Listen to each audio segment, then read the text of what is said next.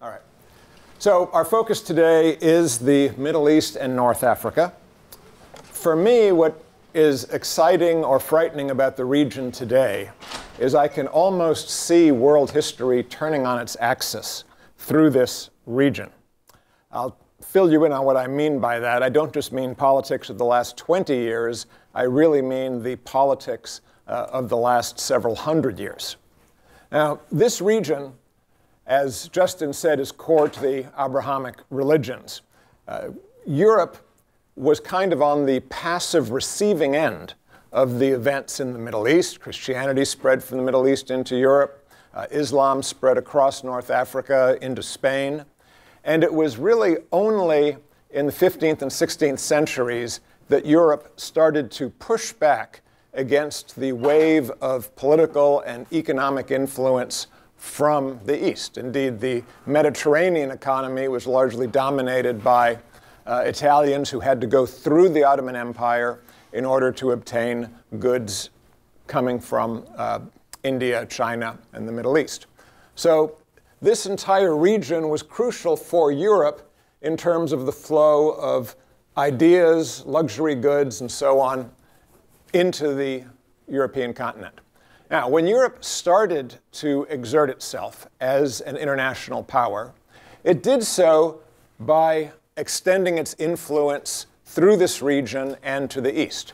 So the Portuguese moved around Africa, the British followed, but the European powers also went through this region.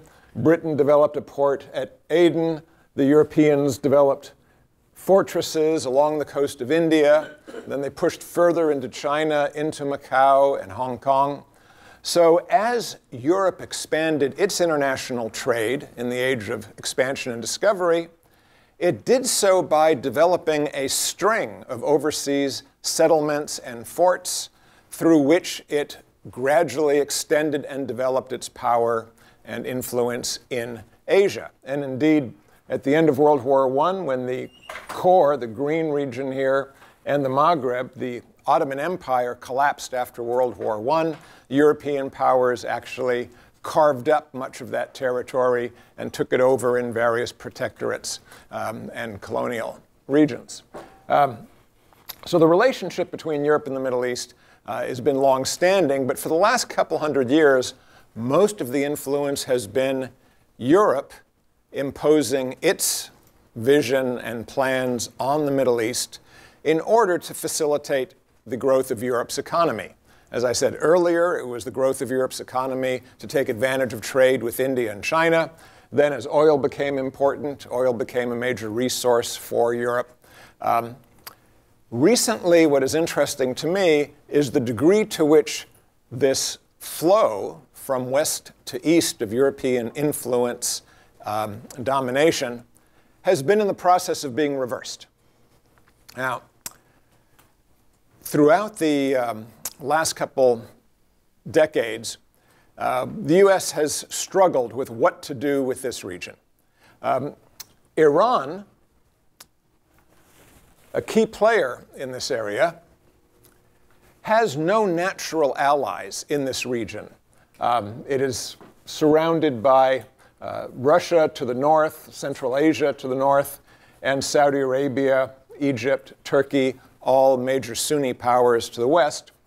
Um, Iran did historically have strong links to Afghanistan, but Pakistan is another major Sunni power. And so the Shia Iranian state has always kind of struggled to solidify its security. It did so in the 50s, 60s, and 70s through an alliance with the United States. The U.S. was the Shah's biggest backer. We know how that turned out. The result has been decades of enmity between Iran and the United States, which has spilled over to relations with Europe. And so Iran has had to be on its own, but in recent years has turned increasingly to China for trade. And the story of turn to China is the one that I want to bring up today for the Middle East. It's not the one we normally hear about. What we normally hear about are what will the relationships between Russia, Europe, and the US be with regard to Iran? What will be the conflicts between Saudi Arabia and Iran? What will be the role with regard to Egypt? But we have experts on all of these areas today, and I'm anxious to hear from them. I'm not a specialist in the Middle East per se. My specializations are in global history and global politics. And from that perspective, it has been striking in just the last few years to see United States influence throughout the Middle East diminish and that of Russia and China start to grow.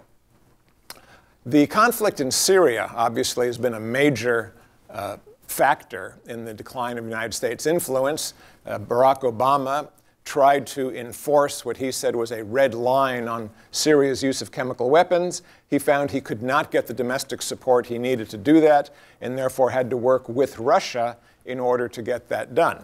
Russia, meanwhile, showed that it was far more willing to exert itself in support of its ally, uh, the authoritarian regime in Syria, uh, led by Bashar al Assad, um, than the United States was willing to back the opposition. After all, the opposition was deeply fragmented, difficult to work with, and contained some fairly uh, extremist uh, jihadist groups.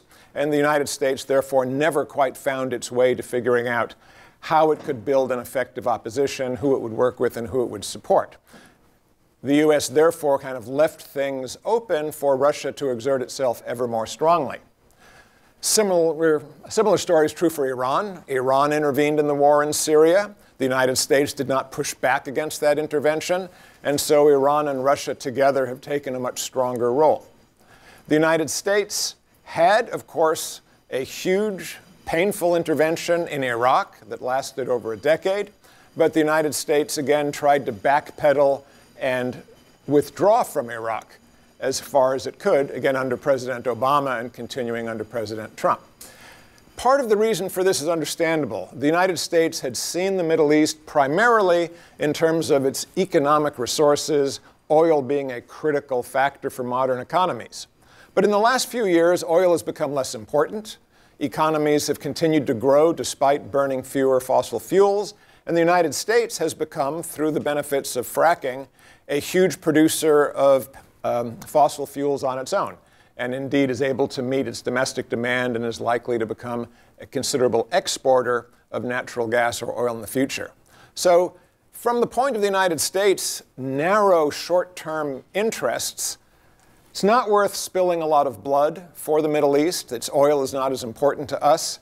Other countries, Iran and Russia, seem much more deeply invested in shaping events. And so the US seems to be okay with taking a step backward. In a sense, though, I feel this is terribly short sighted globally, because what is happening is this crucial region, which stands kind of at the pathway to Europe, the crucial bridge between Europe and Asia, is now very likely to be shifting from a kind of Western sphere of influence to a more Eurasian sphere of influence, and especially finding itself playing a different role, this time in China's vision of the future world. And my time is limited, so I'm going to be brief on this.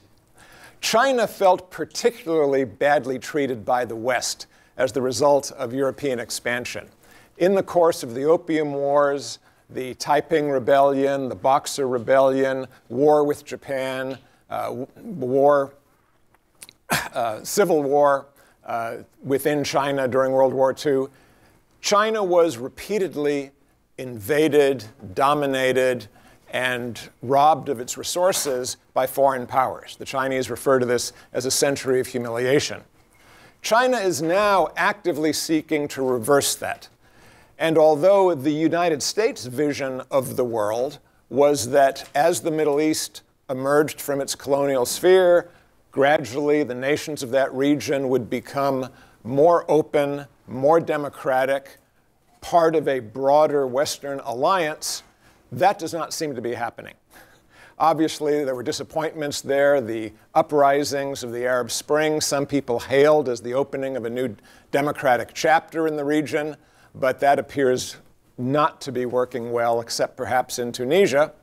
And indeed, not only have the countries of the Arab uprisings rolled back in a more authoritarian direction, Turkey, which was, has been a key ally of the United States since the Cold War and was seen to be a bastion of Western influence, is becoming more authoritarian uh, under President Erdogan and is turning away from what had been a closer alliance with the West. Yes, there are still limited areas of cooperation, but Turkey threatens recently an Ottoman slap at the United States should it start to disagree too strongly with Turkey's policies. China, as I said, felt the most put upon by European expansion and is therefore actively working to roll that back, not just by expanding its influence in the South China Sea, which we often hear about. That's really just kind of one small step in China's international plan. China actually has been investing all throughout this region. Many people were surprised that when an uprising broke out against Gaddafi and Libya was consumed by civil war, one of the main news stories was about the evacuation of thousands of Chinese workers. The Chinese have built their first uh, military base here at Djibouti at the mouth uh, of the Red Sea. They have purchased the Greek port of Piraeus and are building a rail line through Serbia. They're working on rail and sea connections that are designed to create a direct route from China to Europe through the Indian Ocean. Uh, you can't see Sri Lanka on the map here, but the Chinese uh, recently built a huge deep water port uh, in Sri Lanka that they've since taken uh, ownership of. They're working on building a railway through Pakistan to give them direct access to the Indian Ocean. They are investing throughout the Middle East and Africa. And the goal of all of this Chinese effort is, in a sense, to turn world history 180 degrees and duplicate to Europe precisely what Europe did to China. That is, Europe built a string of bases and fortifications to project its economic goods and its power into East Asia. China is now working on building a string of ports, fortifications, and railways to deliver Chinese goods and Chinese political influence throughout Central Asia, through the Middle East, and into Europe. What's happening in the Middle East is quite striking in terms of that plan. The United States and Europe had looked at the regimes in the Middle East as authoritarian but still valuable allies to the extent they were first anti Soviet or anti communist, and second, more recently, opposed to radical Islamist movements. The United States was willing to say, until those adversaries are defeated, we can tolerate authoritarian regimes, but we hope that once those uh, major threats fade, we'll see a positive, uh, reformist, Western leaning change in these countries. And in fact, the United States invasion of Iraq in 2003 was motivated by the idea that if Iraq could be rid of its dictatorship, and somehow turned into a prosperous democracy.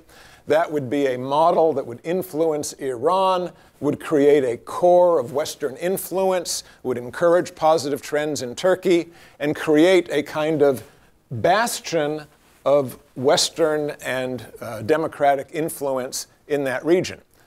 Obviously, the uh, plan was ill conceived in many ways, and although Iraq is uh, institutionally more democratic now than it was um, under the previous regime of Saddam Hussein, uh, it is still far from being a proper uh, democracy.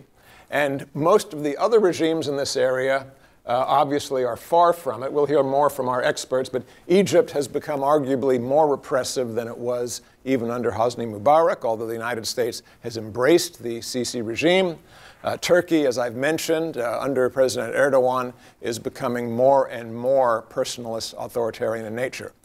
The significance of all of this is that if the Middle East does tilt in the direction of being more open to influence from Eurasia, Russia, Iran, and China, and becomes more anti Western, less democratic liberal in its outlook, instead of being a kind of bastion and extension of Europe that would resist the expansion of Chinese influence, the reverse occurs. Instead, the Middle East becomes much more a group of nations falling into the pattern of state directed authoritarian development that matches closely with that of China. And to the extent that this area becomes more and more solidified in an authoritarian pattern and becomes more and more hostile to Western US and European influence, that historical trend since the 1500s of the expansion of European ideas, economic institutions, and political institutions gets pushed further and further back, and indeed, Europe becomes in the defensive situation that China faced centuries ago. I'll close just by noting my worries that Egypt, uh, far from moving in a direction that seems positive, seems to be under tighter military control uh, than at any time in the past several decades, and the United States is making no complaint and no effort to change that. Turkey has embarked on one of the harshest, most violent campaigns against journalists, as well as buying up uh, all major free media and putting it under control of either the state or close friends of the state. Again, no objections from the West. Uh, instead, uh, Erdogan is being valued for use of an airfield and for his uh, bottling up of refugees from the Middle East. And so the US and Europe say, well, we'll tolerate this behavior. Uh, this pattern of tolerating repressive behavior in the hope of someday achieving a better outcome uh, was disastrous in Iran, was disastrous in Iraq. And I see no reason to expect that in the long term it will be better. So, my concerns in terms of what next are not just there. We've had a bad few years. The uh, Arab uprising was rough, but sure, certainly things will get better in the future. I'm not so sure. I'm worried that the entire trend of global history, when you step back and look at it in perspective, is one in which the advance of Enlightenment ideals, European institutions, European dominance of the Eurasian Economic Zone are all in the process of being reversed. And as that process occurs, Chinese influence grows all across Eurasia. The model of democratic, liberal government and open free markets diminishes, and Europe and America will be thrown more on an isolated and defensive stance. I hope it doesn't work that way, but those are the trends I see in the region that I find most alarming.